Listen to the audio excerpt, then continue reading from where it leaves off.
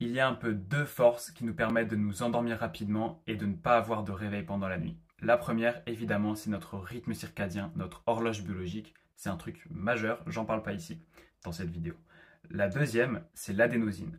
L'adénosine, c'est un neurotransmetteur. Quand ce neurotransmetteur se fixe sur son récepteur, on a envie de dormir. L'adénosine est basse quand on se réveille et elle augmente constamment pendant la journée et elle est haute euh, au moment de dormir.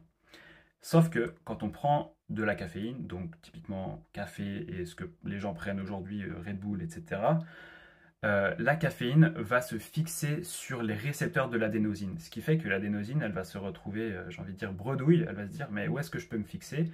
Elle se fixe nulle part et on n'a pas envie de dormir. C'est comme ça que marche le café en fait. Dernier point, la nicotine. La nicotine, en augmentant la dopamine, augmente aussi la noradrénaline qui se transforme derrière en adrénaline.